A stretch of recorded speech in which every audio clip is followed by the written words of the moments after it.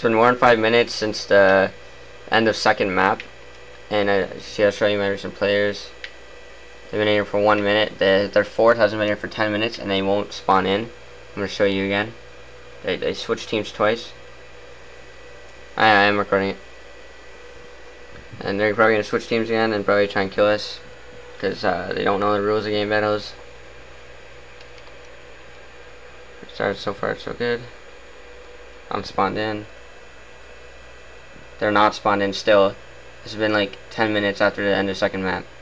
They're waiting on their fourth. They still haven't spawned in. And one of them just switch teams again. He's gonna kill us. They forfeit.